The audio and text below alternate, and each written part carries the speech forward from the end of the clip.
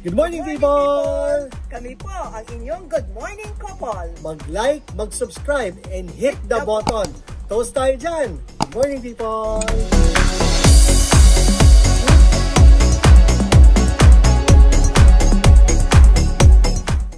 Hey, good morning, people! morning. Good morning, sweetheart! Hi, sweetheart. Welcome to your Good Morning Couple, where every morning is always a good morning with your Good Morning Couple. Yes. Yan po ninyo, sa anumang relasyon, whether yan ay love relationship or work relationship, very important po ang tiwala. Di ba, sweetheart? Yes, Oo. trust. So, ang importante. Ang tiwala, dahan-dahan yan eh, no, na nabubuo. And it takes time. Mm-hmm. Gradual talaga. Sweetheart, paano ba natin mapapagtibay ang pagbuo ng tiwala? Anong suggestion mo? Alam mo kasi, no, kailangan ah, yung commitment mo, magampanan mo, 'di ba? So, dapat make decisions carefully.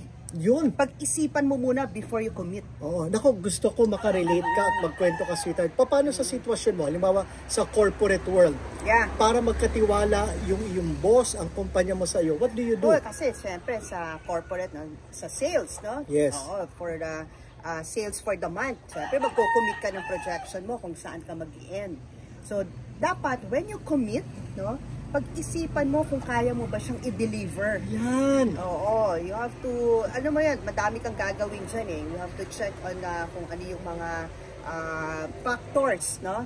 Na, it will affect your sales. No? Correct, correct. So, kung hindi mo talaga kaya, you should learn to say no. Kita mo? Tama ka dyan. I hindi agree talaga kaya. Oo. Ang iba kasi, tanggap lang ng tanggap, hindi naman pala makapag-deliver. Ganyan din sa isang relationship, di ba? Oo ka na lang ng oo, hindi mo naman pala kaya.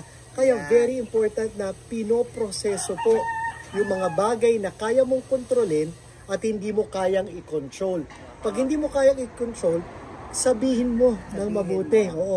So you make decisions carefully. At para meron kang decision, kailangan na i-express mo ang Yan. sarili mo, di ba? Oo. Tama, sweetheart. Mm. Oo.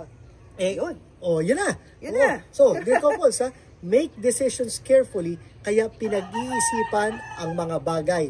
Learn to say no Yes. sa isang commitment kung hindi mo kayang i-deliver. Mm-hmm. But learn to say yes also para naman maging mas masaya at matibay ang inyong samahan. So, make decisions carefully, isip-isip, toast tayo dyan. Good morning, sweetheart. Good morning. Good morning, people.